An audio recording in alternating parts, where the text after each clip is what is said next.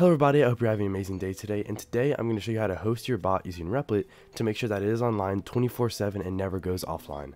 Depending on where you're hosting your bot currently, you may notice that once you either turn off your computer or close your code editor, that your bot will actually turn off. So if you want to make sure that your bot is always online, even once you turn off your computer, you can use Replit to accomplish that. If you don't know what Replit is, it's actually a really nice and easy to use uh, online code editor, which allows you to create a Discord bot online so you're able to access it from anywhere. And then using Replit, we're able to create a website on Replit.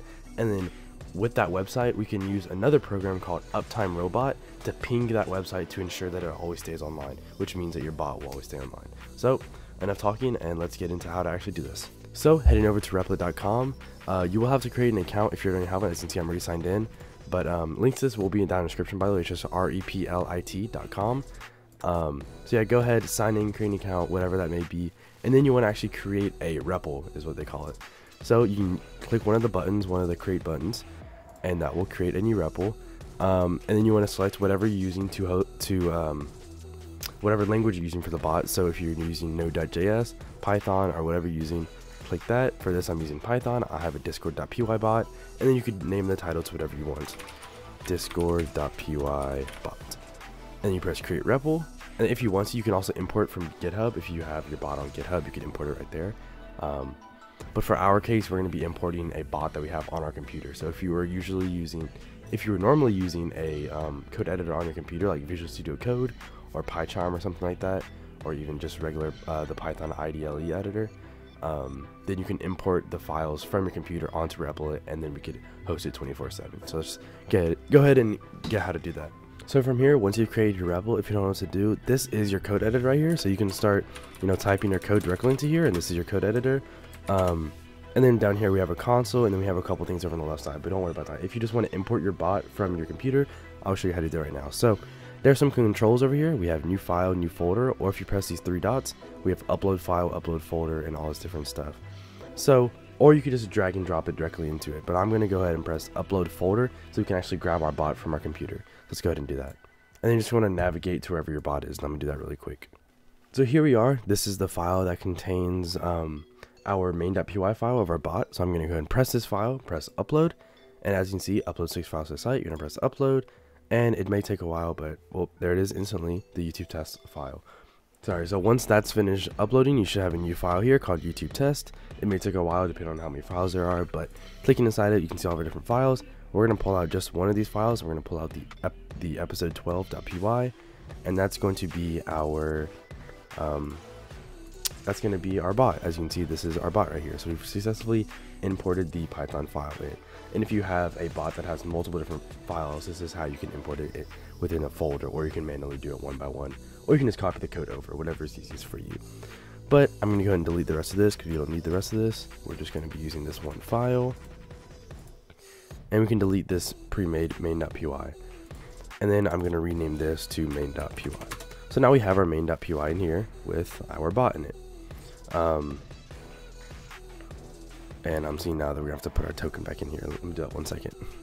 Sorry, I should have kept my config file. Okay, so once we've done that, now as you can see, if we go ahead and just press run, it will install some packages because this is the first time that you run this replit and you have all these packages that you need to import or however many packages you have and it will go ahead and download that. Um, so wait for that to finish. It shouldn't take very long, but um, I'll be back once that's done. Alright, so once that's done, it only took about maybe 15 seconds, and as you can see, our bot's already online. We have all of our output, and if we go back to our server, our bot is online. So that's perfect. And now let's talk about how to get it up 24-7. Because as you can see right now, once we close out of this website, if we go over to Discord, our bot's still online for a second, but if we try running commands, it's actually offline. Sorry, it took a second to update, but um, as you can see, once you try to run the command, this application did not respond because we've actually closed out of the website, so the bot is no longer online. So let's talk about how to make it up 24-7.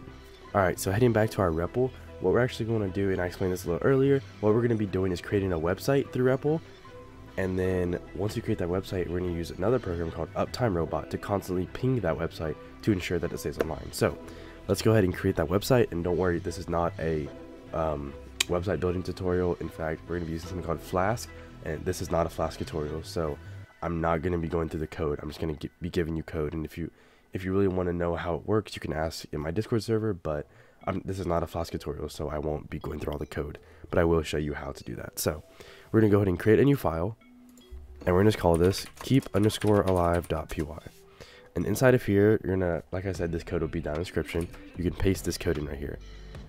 And I'm going to change this to the name of our bot, discord.py bot is online. So this is using Flask to create a website. As you can see, it creates a new app using Flask, and then this is just our home website, which will return this text into the website. And yeah, again, this isn't a Flask story, so I won't explain it, but this is creating a Flask website. So this is all good, but now we need to actually run this. So right above your client.run, in your main file, you want to put keep underscore alive, just like that. Um, and I think you have to import keep alive as well. Let me see. Right, so you actually need to import the function from keep alive. So this function keep alive is what we want to try to run. So we're going to go into our main uh, .py and do from keep underscore alive, and this is referencing the file from keep underscore alive import keep underscore alive, and that is referencing the function side of here. So now this is now not underlined anymore, and if we run this, we should see a website being created. Hopefully, if we haven't messed anything up. Alright, sorry about that, I had to go do something. But um, once that package configuration is done and your bot's back online, as you can see, we have this new web view opening up on the side. And as you can see, we have this website that we can actually go to. This is an actual website that, we, that we've created. And as I said earlier, it now says whatever the name your bot is online, whatever that text is that you returned. Um, so this is great. Now we have our website, and this website is um, always going to be running um, because our REPL is always going to be running. Even if this isn't run, the website will be running. But in order to keep the bot online, we're going to need to ping it through an external um, website. And in order to do that, we're going to be using Uptime Robot. So let's go ahead and head over to that. So heading over to uptimerobot.com, you have to go ahead and log in or register for free if you don't have an account. So I'm gonna go ahead and do that real quick. Alright, once you've created your account and you've successfully logged in, you'll be met with all of your monitors over here on the left. Obviously, if it's your first time, you won't have any monitors. So let's go ahead and create that new monitor, since you already have one over here. But we're gonna create a new one. Press add new monitor, and then we're gonna press monitor type, HTTPS, because we are, it's, um, we're pinging a website and then we're going to say friendly name. This is just the name of your monitor, whatever you want. So I'm going to put my Discord bot and then URL or IP. We're going to come back here to our website, copy this URL in the search bar, put it right here. Monitoring interval, um, you have to keep it at five minutes. I would always keep it the lowest. I don't know why you would increase the interval. Um, but if you want to make it less, you have to pay for um, pro plan. But I really don't uh, suggest that. You can just keep it at free and it works completely fine. So timeout, all that you can leave the same, all that stuff same, head, leave the same, and press create monitor. And you're gonna press create monitor again, and now your monitor is created. So there we go, press close, and now you can see we have our new monitor. And you can actually monitor how long it's up for if by look by looking at this. So we have a response time, and let's actually go to our old monitor so I can actually see how this looks. So this is our response time, and you can kind of see how um, quick Replit is responding. Um, if there's any downtime, it'll show it right here. Latest downtime, you see no downtime recorded, and you can see a lot of stats or information here. So, yeah, with that being said, your bot is now online for 24 7. As you can see, if I go ahead and close down Replit website, um, you can even close down Uptime, Ro Uptime Robot, sorry, and then we could run slash modal, and as you can see, the command still works. So, and that'll keep working forever. I do want to mention one thing that can happen. And if, if this is all you want, and that's great, you can click off the video, but I do want to mention something about Replit, which is a disadvantage. Replit is a website that uses to um, host your bot. And with that being said, you have to use the same um, port to host all your bots. So there's millions of Discord bots that are being hosted on Replit. And Discord has an, um, a request limit. And they will actually limit your account. You'll get rate limited if you try to like start and stop your bot over and over again. So using this, you'll run into issues where you get rate limited by Discord. And the only way to fix that, and I'll go ahead and show you if that happens to you, I'll go, I'll show you how to fix that real quick. So if you ever do get rate limited by Discord and you'll see a message in your console, and it'll be a really, really long red text, and you'll read, like, it'll be a lot of HTML, but if you read kind of in there, you'll see, like, um, the owner of this website has blocked you from using their service, or something along those lines. So if you get rate limited, the only way to combat that is if you go over to the shell and you run kill one. And this will actually reconnect you to a different proxy server so you're able to actually run your bot. However, you don't want to have to do this manually. So I'm going to show you how to make a script for this. Um, so yeah, we're going to create one more script and we're going to go over here and create a new file and we're going to call it restarter.py. Restarter.py. So pretty much we're going to detect once your bot has been rate limited and once it's been rate limited, we're going to just run kill one automatically and then restart it. So inside of the script, we're going to paste this code. We're going to import sleep from time. We're going to import OS from system and then we're going to sleep for seven seconds and then run the main file again. So that is our restarter script, and I'll show you how this functionality actually works inside of the main.py.